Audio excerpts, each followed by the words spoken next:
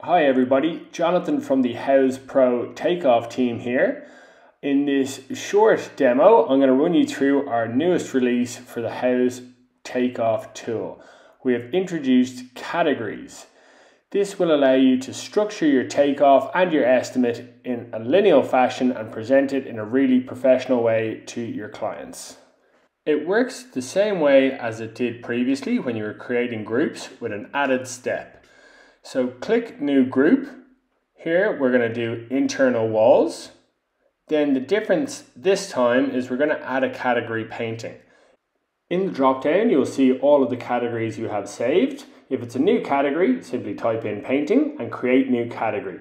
Give it a color, save it as a favorite and also give it a unit of measurement.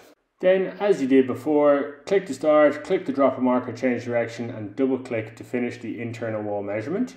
You can give it a height here and get your square footage. By duplicating the measurement, we can reuse that measurement we just did for the internal walls and rename it molding.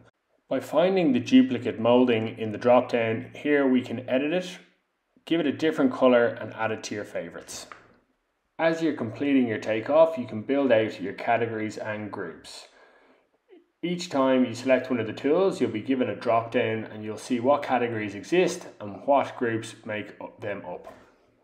Another very good feature here is by duplicating a measurement, you can then move it to a different category. Simply duplicate the measurement, highlight it, select move to, go to a different category, in this case we're doing walls, and you will see that it is moved from painting into drywall.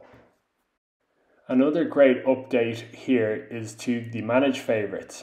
Here you'll have a lot more room to create categories, add in groups and assign them dollar values.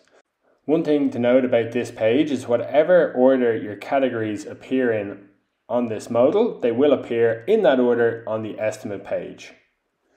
So to create a new category, up in the top right, you simply add new and in this instance, we'll create carpentry.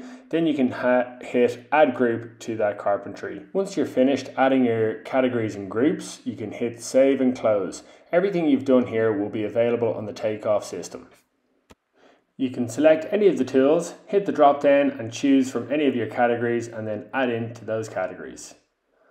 Once you've completed your takeoff, hit review and estimate and you'll see that everything is pulled through in the order in which you set it up on the takeoff tool to the estimating portion of Houzz Pro.